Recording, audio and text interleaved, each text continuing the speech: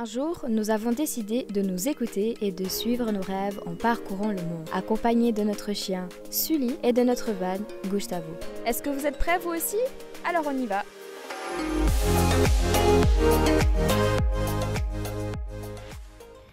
Salut à toi et bienvenue dans une toute nouvelle vidéo. J'espère que tu vas bien. En tout cas, j'espère que tu auras kiffé la vidéo de la semaine passée, notre euh, top 10 de nos objets indispensables. On s'est vraiment bien marré à tourner ces plans. Et je pense qu'on vous refera assez souvent des vidéos un petit peu humoristiques comme ça. Enfin, plus tournées sur le fun, etc. Parce que on se prétend pas être des humoristes. Hein. Euh, moi, la seule personne que je fais rire, c'est Sully. Donc, euh, et encore. Donc voilà, bref. Dans cette vidéo, on va vous parler un petit peu ben, de notre ressenti. Encore. Encore, avant ce départ.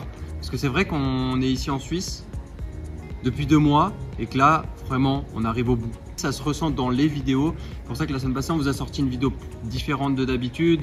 Cette semaine aussi, on vous sort une vidéo qui sera différente des autres. C'est pas méchant contre la Suisse, contre notre famille, contre quoi que ce soit. Pas du tout. Au contraire, on a vraiment juste envie de s'en aller pour euh, continuer l'aventure.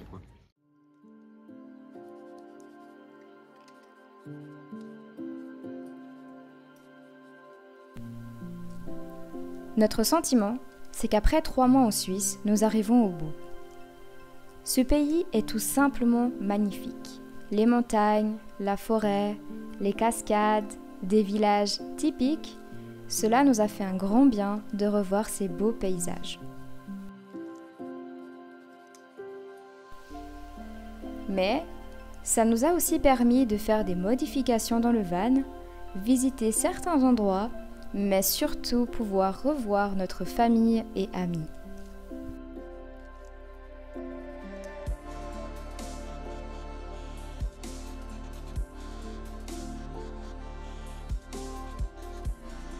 Ce n'est pas contre eux que nous voulons partir, mais tout simplement car nous sommes des âmes voyageuses qui aimons découvrir et parcourir des endroits plus beaux les uns que les autres. Et nous ressentons que c'est le moment pour nous de reprendre la route.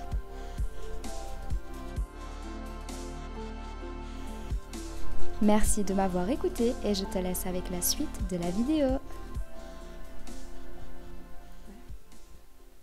En parlant de modification, bien évidemment, euh, Bastien il dit toujours quand vous prenez un appartement ou une caravane, un camping-car, un van, un mobile-home... Tu tous les faire Non, je vais pas tous les faire eh bien, on le construit jamais de A à Z, mais de A à Y. C'est ça. Juste. Parce que le Z, on le garde pour les modifications. Et c'est vrai que quand on a commencé les aménagements dans le van, on a vraiment pris goût. On ne s'arrête pas de changer, de modifier, d'ajouter, d'enlever, bliblabli. C'est vrai parce que depuis un certain temps, on vous parle toujours. On a encore fait des modifications, regardez. Eh bien, cette fois-ci, bah, c'est pareil. Voilà, on a encore changé deux, trois trucs.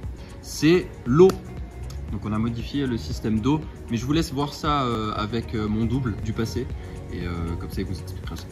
On en avait parlé il y a quelques semaines, l'évacuation de l'eau, on a donc changé le système. Alors c'était tout facile à faire, mais on a fait une évacuation vers l'extérieur du van directement. On a fait un trou dans le plancher, un tuyau qui descend et qui va directement à l'extérieur. On n'utilise absolument rien de toxique ni de nocif pour la, planète et pour la Terre et pour la nature.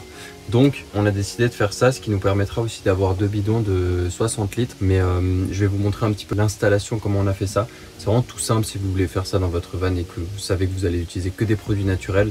Au moins euh, pour ça vous êtes euh, tranquille.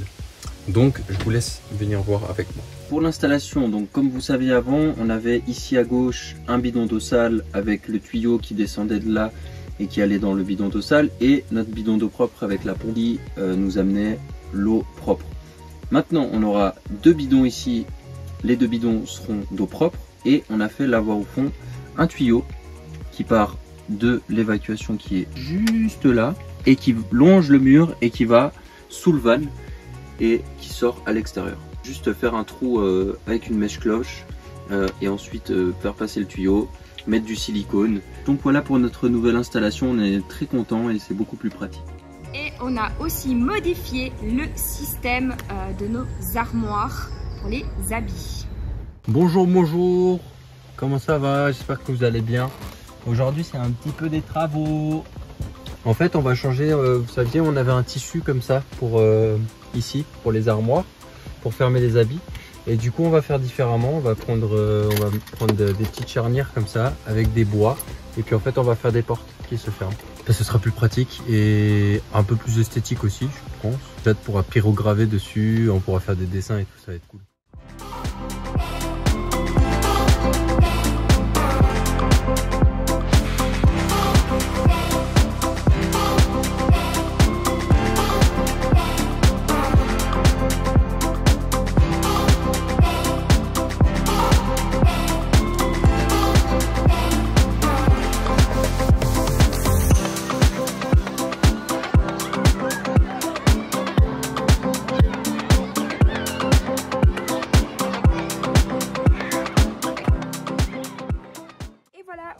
De poser les plaques euh, au niveau des armoires des habits. Donc franchement c'est trop trop trop bien.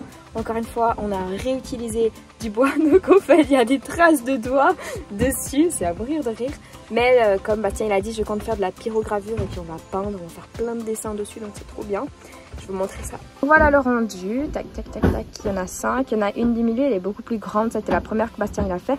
Du coup, on va profiter pour, euh, pour mettre des chaînes pour qu'elles tiennent droite. Et ensuite, celle du milieu, on pourra poser des choses comme l'ordinateur quand on va regarder des séries. Alors, comme vous avez vu la semaine passée, vous avez présenté le vélo.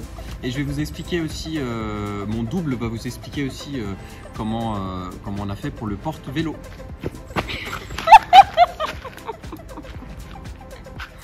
C'est parti Alors pour le porte-vélo, donc on a installé. Alors, pour commencer la petite histoire, très rapide, on a cherché, j'ai cherché des porte-vélos sur internet euh, qui, se mettaient à la boule d'attelage. Rien n'était pratique à cause de l'échelle. Parce que toutes les, tous les, les porte-vélos qui s'accrochaient ici sur la boule d'attelage euh, allaient rentrer en collision de toute façon avec, euh, avec l'échelle, donc c'était pas possible. Après, il y avait une autre solution, c'était accrocher un porte-vélo acheté sur l'échelle, ce qui était un peu galère, ou installer un porte-vélo, mais on a les et du coup c'était un poil galère. Bref, et c'est cher, c'est très très cher. C'est surtout ça le point le plus négatif, c'est que c'est vraiment ultra cher. L'idée que mon père a eue, c'est de faire deux pièces en métal qu'on a là pour poser le vélo. Je vous fais une démo en direct vu que le vélo est décroché, comme ça je vous montre. Donc voilà, comme vous avez pu le voir, c'est très très rapide pour installer le vélo dessus donc euh, et c'est très solide, vraiment ça tient. Une fois qu'il est mis comme ça, on va juste sécuriser avec des spencettes comme ça en mettant une ici et une ici. Et puis euh, sécuriser juste euh, avec un, petit élastique qu'il y a là, la roue pour pas que le vélo il fasse ça quand on roule. Donc euh, c'est le seul truc à faire pour ouvrir les portes. C'est vraiment, si on veut vraiment les ouvrir, c'est pas compliqué de sortir le vélo, le poser à côté pour ouvrir les portes et prendre des choses à l'intérieur. Mais on peut quand même ouvrir la porte sans enlever le vélo. On peut aussi monter sur le toit sans enlever le vélo. On peut passer par dessus, donc il n'y a aucun souci. Donc on a euh, vraiment euh, trouvé la solution parfaite pour avoir un vélo. Et puis si à l'avenir on veut en rajouter un autre, on peut toujours étendre le porte-vélo pour pouvoir en, caler un deuxième. Donc, euh, donc ça c'est faisable aussi. Euh, et, voilà, le système est tout simple et il coûte absolument rien parce qu'on a juste acheté du métal, quelques vis et ça s'arrête là. Donc voilà pour le petit porte-vélo.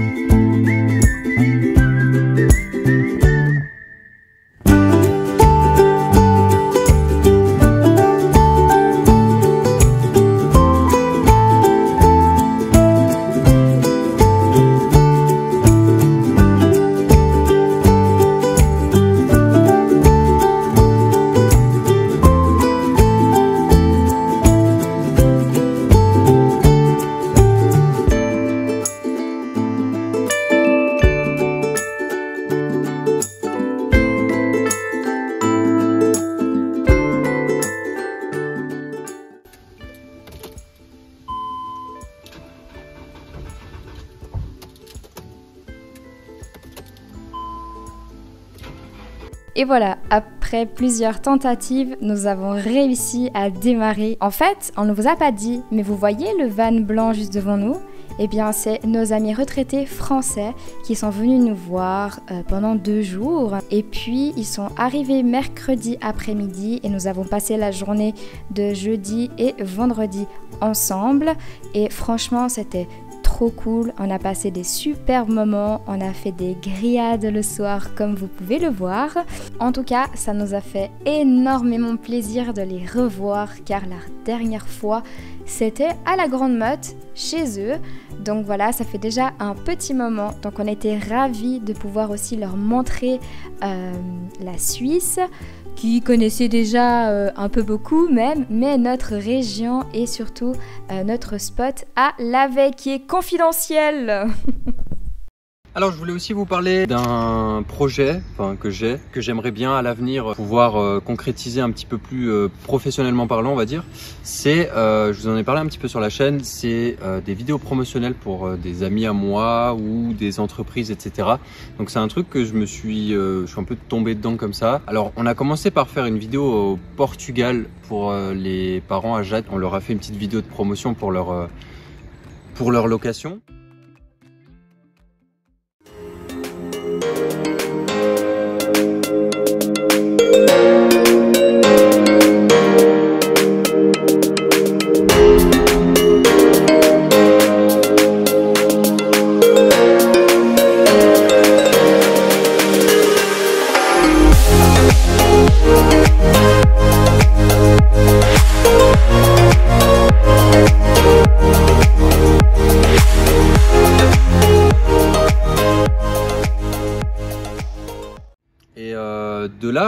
Suis vraiment pris de plaisir à faire ces petites vidéos de promotion. Et puis je me suis dit, bah, peut-être qu'en rentrant en Suisse, il y aura des gens qui, aimeraient peut-être dans mon entourage avoir des petites vidéos euh, promotionnelles pour leur entreprise.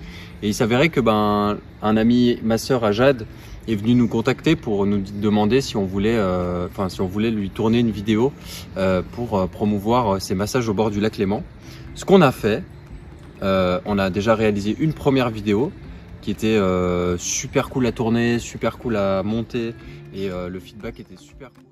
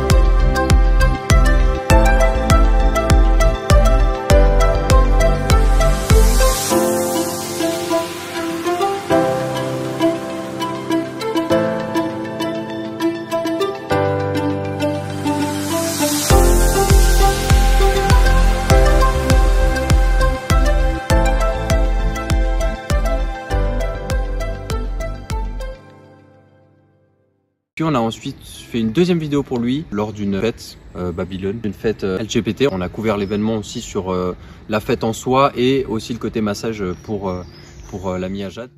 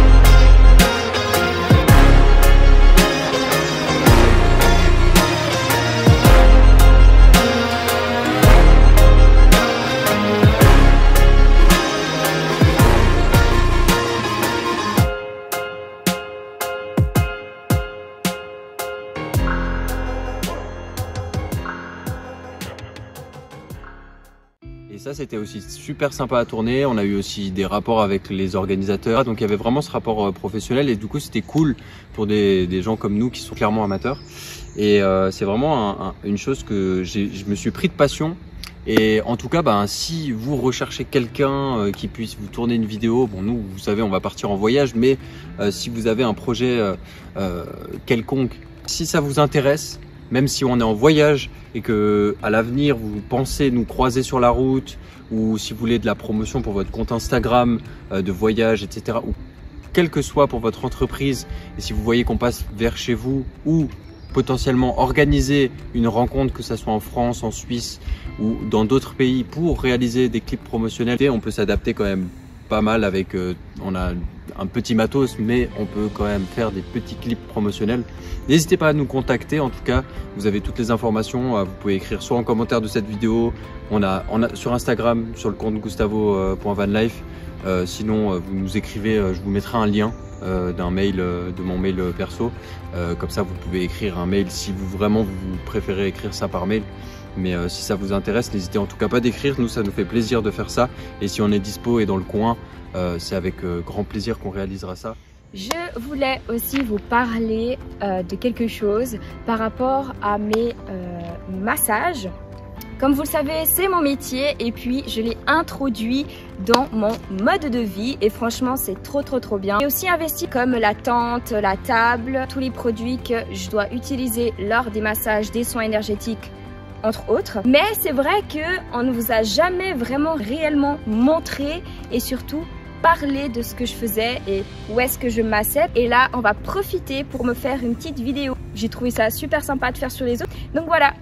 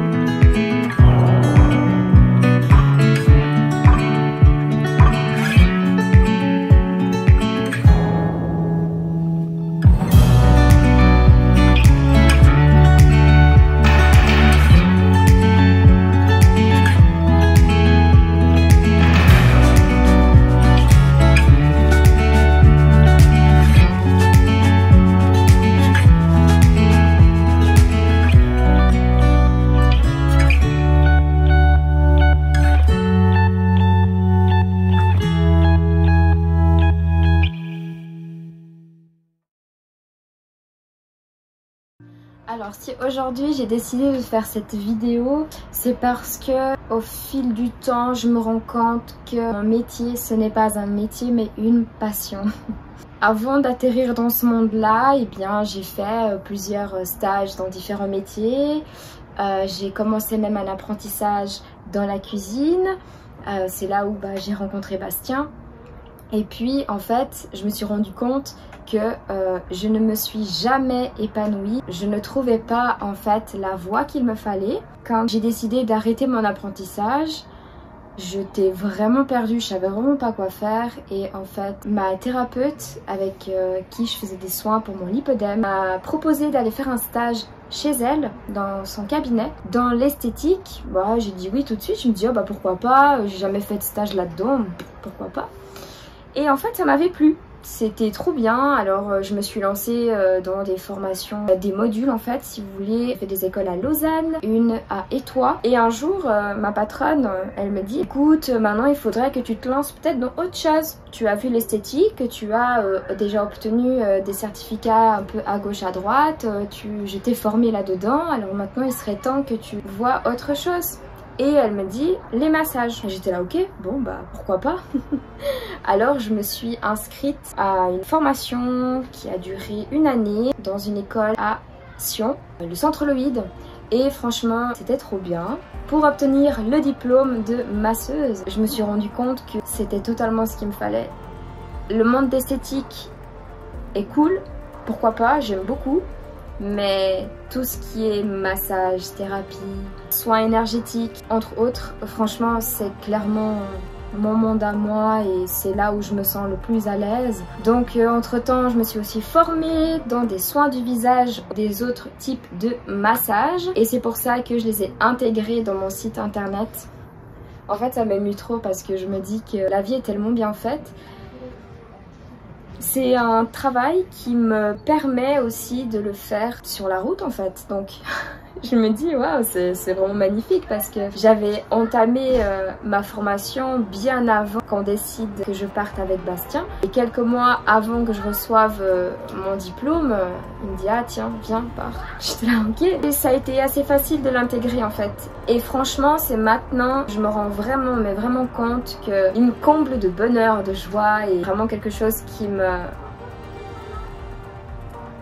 qui me qui me rend vraiment heureuse parce qu'en même temps je peux aider les autres personnes. Je vois aussi mes capacités et jusqu'où je peux aller. Je fais des massages relaxants, classiques, donc les thérapeutiques, les massages aux pierres froides, aux pierres de sélénite, massage anticellulite, le massage lemniscate. Vous avez toutes les informations euh, sur mon site internet. Pour les soins du visage, je compte les mettre à disposition, mais ça c'est vraiment à voir car euh, je dois trouver des produits euh, naturels. En tout cas, j'ai été vraiment contente d'avoir pu parler ouvertement avec vous sur ça. Et franchement, ça me comble de joie. Et j'espère que de tout cœur que chaque personne pourra trouver vraiment sa voie, son chemin de vie et ce dont il est capable parce qu'on est tous capables de beaucoup de choses et je souhaite ça à tout le monde. Et voilà, sur ce, cette vidéo touche à sa fin. J'espère vraiment qu'elle t'aura plu. J'espère que tu as passé un bon moment.